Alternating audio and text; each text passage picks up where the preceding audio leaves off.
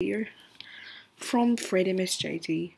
Now, I'm sorry, guys, I have to be speaking quietly now. I can't be too loud. Um, uh, in this video, because no one else has done it, and because I just found out this online, I'm going to show you how to mask Just Dance coaches in the editing software DaVinci Resolve. Now, I've already done it here with the Never Gonna Give You Up coach, and uh, you know the the official music video. As you can see, it works right there. But we wanna, I wanna actually show you how to do it. So if I go home, I'm gonna uh, create an untitled project. If it works, let me say this. Let me say this. Wait. Come on, save. Alright, saved. Now I can create a new project. I don't know what to name it, so I just need a test. so I'm going to go over to the media tab here, and I'm going to insert my extraction coach, which is the never going to give you up coach, and I'm pretty sure I don't have any other coaches. Okay, I don't, I don't want you to see my whole downloads folder. uh, just wait for it to load in. So there it is. And uh, if I can, I might be able to find a video or photo. Let's just insert a Just Dance 2022 box art photo. I don't know what to put in, so I'm just absolutely, Don't know. So what we're going to do first, we're going to put in the image or the video, the background that you can have in there. Then we're going to put in your extraction on the top right here, video 2. Now we just want to zoom out a bit. Alright, zoom in a bit more. We want to make this um, Just Dance box art, the, the, the image or the photo as long as the uh, the extraction. I want to zoom in a bit more. I'm just going to put the, the, the time on here. Oh yeah, you can actually use the arrow keys to uh, move frames if that's helpful in any way. so what we're going to do next is for this, uh, this is a Just Dance 4 extraction. Now, basically what we have to do, we have to crop the, the, the, the video so we only see um, the bottom bit, the the the actual like mask um, thing. I'm pretty sure that's what you call it, alpha something. The alpha. That's yeah, that's the alpha or the luminance. And we just got to crop it down to there. Now, my cropping, when I crop it and zoom it, I'll mainly be using the zoom in position uh, uh, things in the transform tab, um, tab. So, and this uh, this setting, when I do it, will only work for extractions that are Just Dance 4 extractions, Just Dance 2014, and maybe 2015 ones. I'm not sure, but it definitely won't work with Just Dance 1 to 3 extractions. So first, what I've got to do, I'm just going to zoom into 2, so as you can see, they're both 2. Now we got to click this link button so it won't link together. We got to make the Y position a 3 and then we got to move the Y position down until it gets around there. The actual position is 1080 because this is actually a, nine, a 1920 by 1080 um, uh, uh, pixel uh, project. So that's going to be like that. And then I can just play it as normal.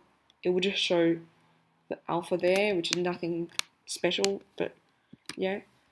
And then what we want to do is we want to create a duplicate of this. Now, usually what you might do, you might just copy and paste it and then put it up to video 3. But a cool way of doing it is if you hold Alt on your keyboard or Option as it calls it on Mac. Hold Alt and then drag the clip up, it just creates a duplicate of it. So that's really nice feature. Now what you want to do is uh, this is going to be, I'm going to be now displaying this bit. Now this is very stretched, so we're going to turn down the Y to 1.5. Then put this up to minus 270. So there we go. Then we can see that. Just disable and enable. They're both basically similar. If you if you want to see if your um, if your mask is in line with the alpha, because they have to be in line exactly, uh, you can just change turn down the opacity a bit to see if it's in line perfectly. Mine's in line though. Mm. So what we want to do next is so with this this thing up here, the coach, we want to go yeah go down until you see composite mode in the inspector. And then click on composite mode. Now we don't want any of these. We don't want any of these. We want to click foreground where all these are. So foreground. Then for the the um the alpha we want to do the same except we don't click foreground don't do alpha don't do inverted don't do inverted luminance. that looks actually really strange. Look at that. But we do luminance, so it's called lum. And basically, you just have it there. Uh, sorry, it's a bit laggy. Also, another cool feature, if just in case you need to uh, see your videos in precise, or just in case it's a bit laggy, if you do Shift K, it'll play your video in uh, slow-mo. So this is 0.5 times, and if you do Shift K again, it'll be 0.25 times. So I'll just do, as you can see, I'm playing in slow-mo here, and it just works perfectly. Like, it's actually uh, perfect. Yeah. So, um, hope you enjoyed this. Uh, give it a like if it really helped you. I don't know any Just Dancers out there who actually um, edit their videos using DaVinci Resolve because I'm probably one of the only ones. Because most tutorials I see, I see oh, how to do it in Alight Motion. I have Alight Motion, but just always very glitchy on my iPad and stuff, so I don't use it too much. Um, there's a tutorial, you know, Sony Vegas Pro. Come on, you have to pay for that. The Premiere Pro, you have to pay, but you can have a free trial though. I was originally gonna get a free trial Premiere Pro since I couldn't I didn't know how to do it in DaVinci Resolve before, but now I can do it in Resolve, so yeah. By the way, this is DaVinci Resolve 17.3, if you were wondering about DaVinci Resolve. Uh, yep, 17.4.3. Actually, I got that wrong. so, uh, really hope you enjoyed it. Uh, you can leave the video now, but if you want to keep on saying longer, I can explain the exact properties of how this works and how the masking works because if you want to just stay for the technical bits. So I'll see you later if you're going, but if you're still staying here, then I'll start to explain some of the technical bits. So if I disable this track, this is the Never Gonna Give You Up. Uh, this is the this is just the the the um, the top bit and I have to change it to foreground since foreground, what did that do? Oh, that looks nice. Sorry, I'm getting distracted here. Foreground is basically, it's kind of like, uh, if you think of the word background, foreground's pretty similar. You can also think of, what is there? I think um, middle ground, but but background is basically the backgrounds. Like um, the background in this video is the Just Dance 2022 box art image. That's the background. And no, we don't need to set the composite mode to any background or anything. We just can, can just keep it like that. Uh, um, and the foreground is basically the, the image in front, or the video in front, which is our mask. Now, the only thing is, it's just this thing. which we want to actually um, use the the this is the this is the the alpha that only includes black and white colors because the because the white background is then meant to because as you can see if I zoom in a bit sorry my zooming is very bad. Um sorry I don't know if you can see that but if you zoom in a bit as you can see the outside of the body there's a little bit of a glow to it. And that's why when I mask that it it makes the it kind of like puts the white it gets rid of the white and then it puts it in front of the the extraction and then basically it just does it like that and then you can see the glow like exactly how it's like here. I could have had a better explanation for it. Same with all the dust and everything. So if you check out on this one there's a whole lot of blue here and it's very not smooth but this is like all smooth perfect. Basically that's what the mask is about. Yeah.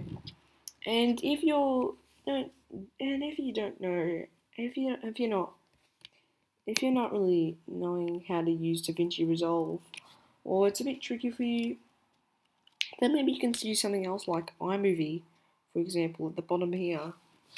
Um, because iMovie although you can't mask coaches you can actually do green screens so although green screens are a little bit best obviously you can still search up let's just say never gone.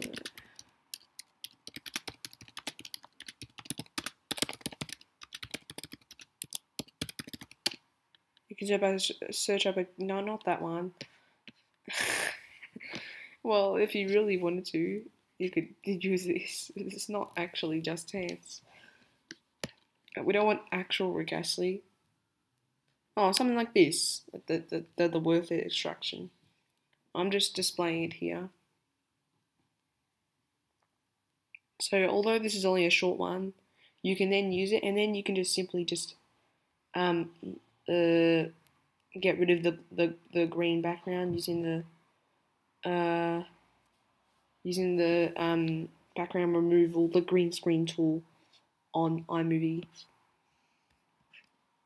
Yeah and yeah so that's probably the basic thing but if you want to get a bit more into this stuff you can use DaVinci Resolve. Also DaVinci Resolve you can use you can make a green screen as well.